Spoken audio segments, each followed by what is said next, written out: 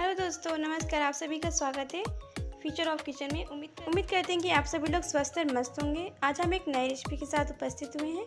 आज हम अपने किचन में बहुत ही चटपटा और बहुत ही टेस्टी जीरा आलू बनाएँगे। जीरा आलू बनाने की सारी सामग्री हमने पहले से रेडी करके रख ली है। जैसा कि आप देख सकते हैं, हमने दो से तीन बॉयल किए हुए आलू लिए हैं। इन्हें अच्छे से साफ़ करके हमने कट कर लिया है।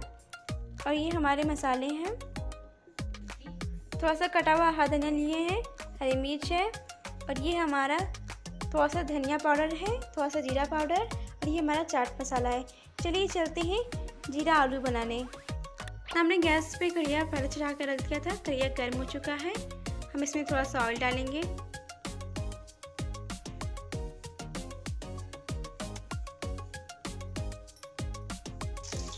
हमारा तेल गर्म हो गया था, हमने इसमें मच्छर डाला है मच्छर फ्राई हो गया है, उसे निकाल लेंगे।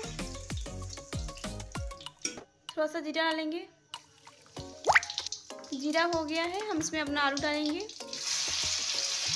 हम अपने आलू को अच्छे से फ्राई कर लेंगे। हमारा आलू फ्राई हो रहा है, हम इसे अच्छे से फ्राई कर लेंगे। थोड़ा सा जीरा पाउडर डालेंगे। थोड़ा सा धनिया पाउडर डालेंगे। थोड़ा सा चाट मसाला डालेंगे।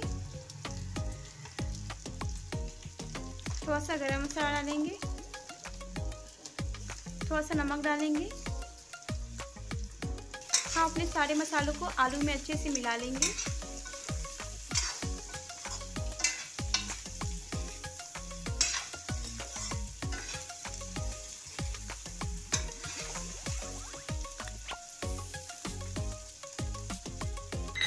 अपने आलू को मीडियम फ्लेम पे फ्राई कर लेंगे।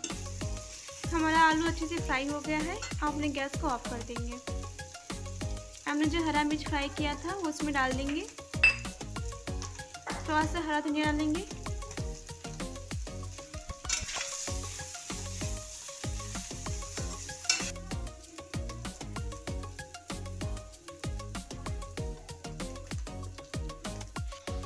दोस्तों, हमारा जीरा आलू है बनकर रेडी जो कि बहुत ही टेस्टी बहुत ही कुरकुरा बना है।